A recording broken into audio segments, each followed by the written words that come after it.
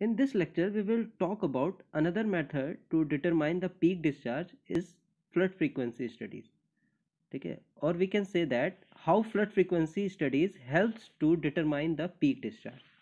Clear है तो हम बात करते हैं जब हम हाइड्रोलिक स्ट्रक्चर डिज़ाइन करते हैं तो हम वो किसी एक फ्लड वैल्यू के लिए डिज़ाइन करते हैं ठीक है और हम ऐसा फ्लड वैल्यू कंसिडर करते हैं कि उससे ज़्यादा जो फ्लड है वो उस हाइड्रोलिक स्ट्रक्चर की, उस हाइड्रोलिक स्ट्रक्चर के डिज़ाइन पीरियड में एक बार भी ना आए।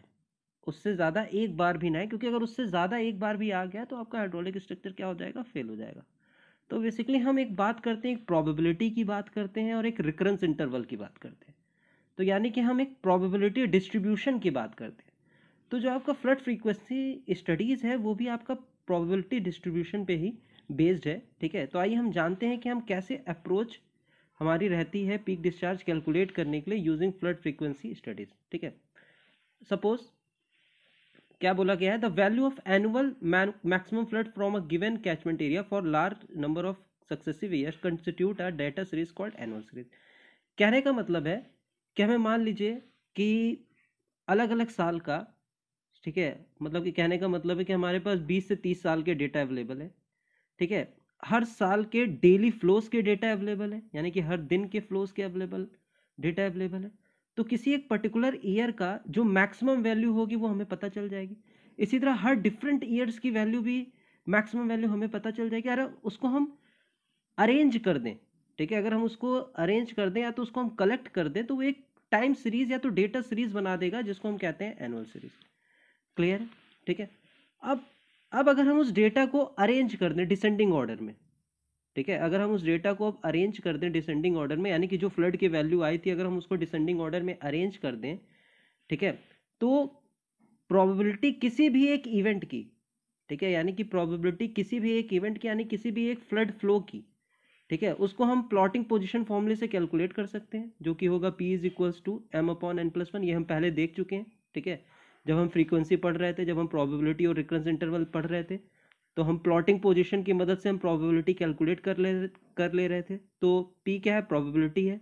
ठीक है? Probability is equals to M upon N plus one M क्या है? ऑर्डर नंबर ऑफ़ इवेंट यानी कि किसी एक पर्टिकुलर इवेंट की जिसकी हमें प्रोबेबिलिटी फाइंड आउट करनी है, उसकी रैंक क्या है? ठीक है? या तो उसका ऑर्डर नंबर क्या है? हम बता चुके हैं कि हम डिसेंडिंग ऑर्डर में अरेंज करेंगे और हर डेटा को क्या दे देंगे? एक रैंक एक रैंक स्पेसिफाई कर देंगे। क्लियर है? तो प्रोबेबिलिटी किसी भी एक इवेंट की, ठीक है, वो क्या हो जाएगी? M upon N plus one M क्या है?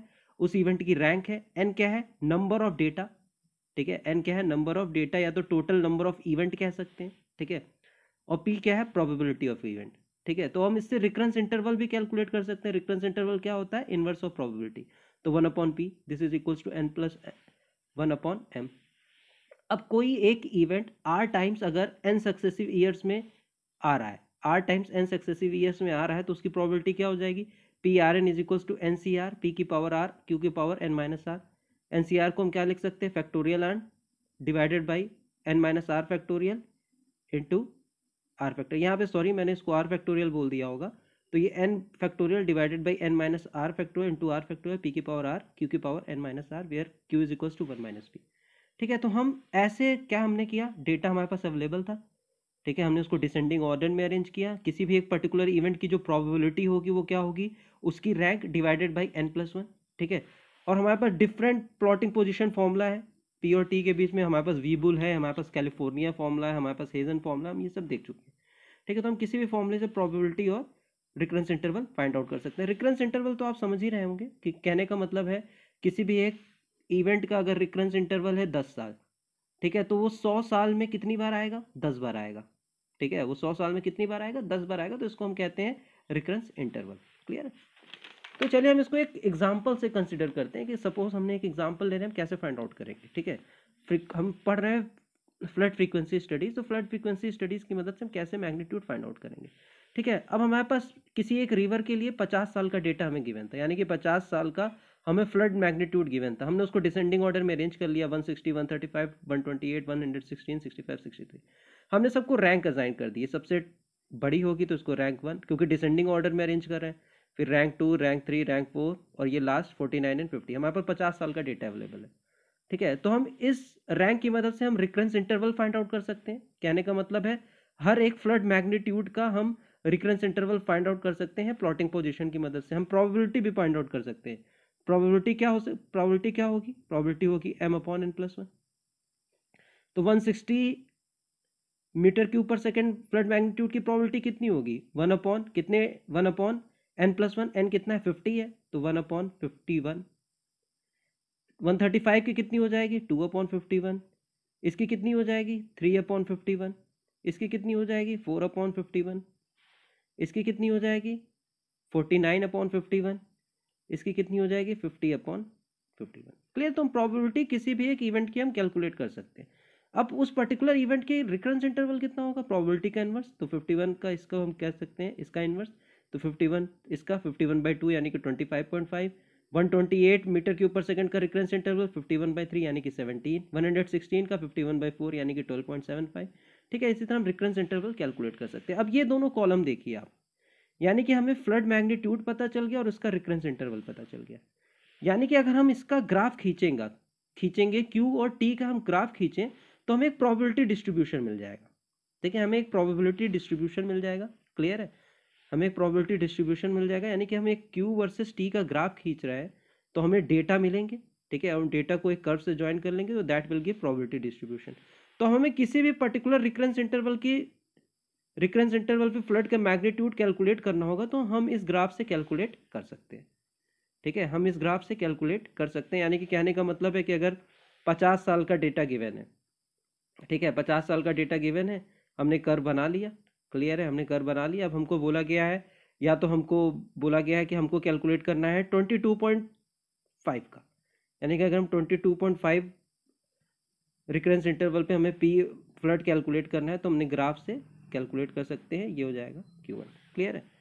हम, अगर ये जो टी है, इसको अरिथमेटिक स्केल पे रख के ना लॉक स्केल के रखें तो एडवांटेजियस होगा, क्योंकि जो आपका कर बनेगा, वो बेसिकली क्या बनेगा? एक स्ट्रेट लाइन बनेगा और हम ज़्यादा से ज़्यादा रिकरेंस इंटरवल उसमें क्या कर सकते हैं? इनकॉर्पोरेट कर सकते हैं। ठीक है? इनकॉर्पोरेट कर सकते हैं अगर लॉक टी इज़ एडवांटेजियस ठीक है? अब अगर मान लीजिए स्मॉलर इंटरपोलेशन है, यानी कि कहने का मतलब है कि ये आखिरी जो वैल्यू थी हमको गिवन थी पचास साल पे। ठीक है? अगर हमको बोल दिया कि साठ साल पे हमको कैलकुलेट करना है, साठ साल पे हमको कैलकुलेट करना है, ठीक है? पीक डिस्चार्ज और लेकिन डेटा जो हमारा पता था, जो हमें ग्राफ पता था वो पचास साल तक का ही गिवन था। ठीक है? तो हमें साठ साल पे कैलकुलेट करना है तो उसके लिए हमें बेसिकली एक्स्ट्रापोलेशन करनी पड़ेगी।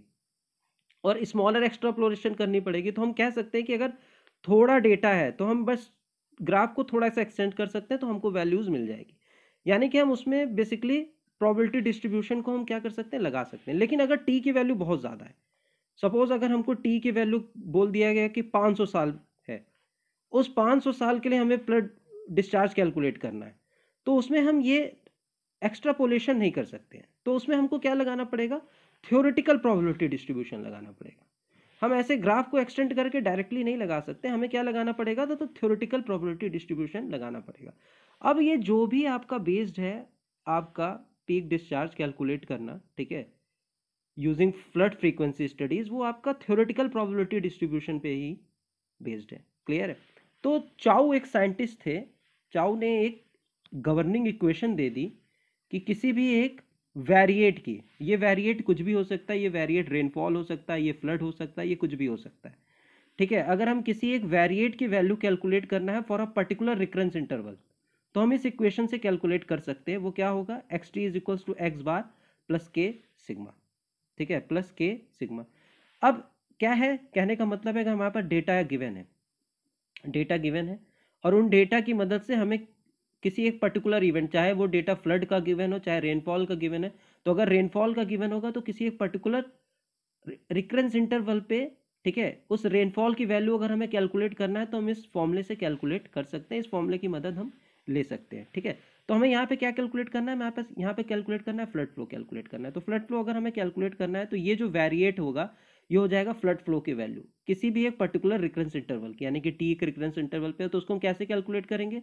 That will be X bar plus K sigma ठीक है? एक्स टी क्या है? Value of variate X of a random hydrologic series with a return period T ठीक है? रैंडम हाइड्रोलिक सीरीज़ का मतलब है कोई भी आपका रैंडम हाइड्रोलिक हाइड्रोलॉजिक पैरामीटर हो सकता है।